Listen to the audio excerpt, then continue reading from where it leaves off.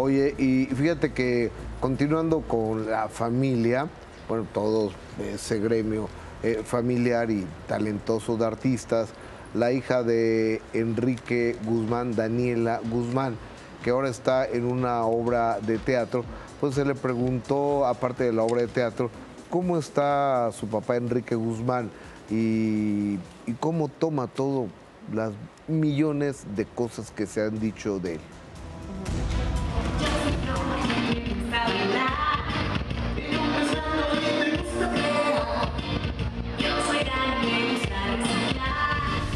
Daniela Guzmán, hija del rockero Enrique Guzmán, aseguró estar emocionada tras el buen recibimiento de su proyecto infantil titulado Lero Lero.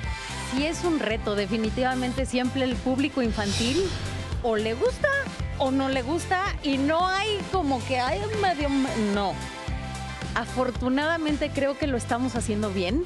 Este, Hoy ha sido un día muy especial para nosotros porque es la primera vez que nos encontramos con niños así de cerquita.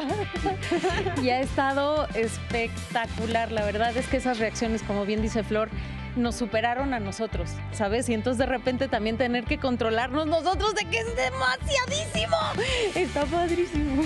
Por otro lado, la actriz y cantante reveló que su padre fue bastante crítico al momento de ver su trabajo. Es nuestro fan. Él no se enteró de todo esto hasta que vio ya el canal en YouTube. Entonces sí fue... Ay, pues este criticón, claro, por supuesto, pero finalmente creo que tenemos un, un, gran, un gran proyecto.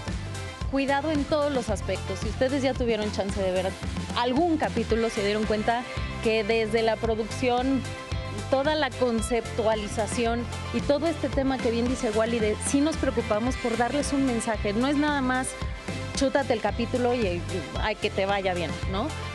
todas las canciones tienen un porqué.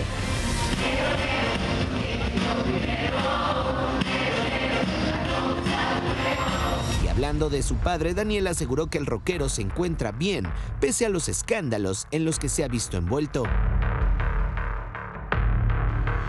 como así lo dices, tal cual.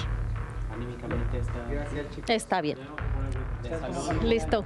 Ya nos vamos a jugar. Sí, claro, siempre, siempre, siempre con ellos. Qué guapa.